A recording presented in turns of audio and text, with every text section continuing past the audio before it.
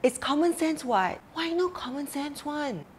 But it's common sense. Common sense isn't very common. There are two things that make up common sense what your parents did or didn't teach you, and your culture. When Malaysians eat at McDonald's, we leave everything on a tray and sometimes strewn across the table when we finish. That's common to us. It's not rude because everyone does it. Now, in other parts of the world, like in Europe and the States, when people eat at McDonald's, they take their tray with their wrappers and their rubbish and they throw it in a bin before they leave. They leave the table pretty much clean. So guess what? When we Malaysians eat at McDonald's, in a Western country, they think we are rude. We really didn't mean to be rude. We just didn't know what was considered common sense in other countries and other cultures.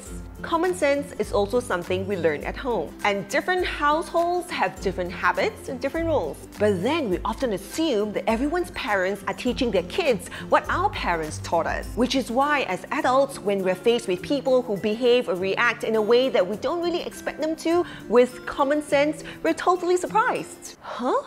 My upbringing and your upbringing is completely different. Our cultures are different. So if I expect you to have the same common sense as me, then I am not being logical. But what we can do is to make common sense common. We have to outline it teach it, and embody it. Understanding that what's common to you may not necessarily be common to the other person allows us to let go of the frustration and anger that we might sometimes feel when we're dealing with people whom we perceive as having no common sense. So to solve any problem, we need to analyze the different reasons behind why they occur. Knowing the whys gives us clarity to take the right action and create the change that we want.